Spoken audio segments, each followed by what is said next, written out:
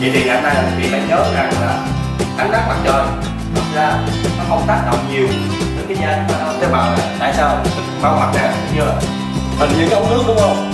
Ờ giống ống, ống nước nè. Trong nước này nhiều không?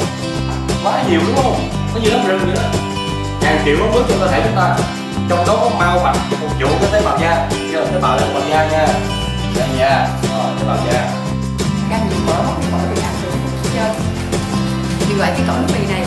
Hiện nay nó ở trên thị trường cũng có nhiều lắm nhưng mà chúng ta các chị em không để ý thực ra là nó mang một cái rất là giá trị sức khỏe.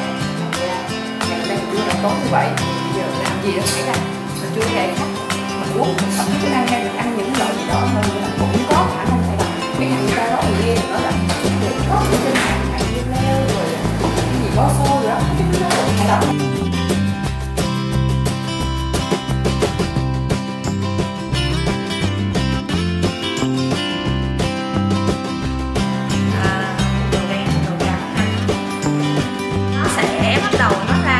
tư.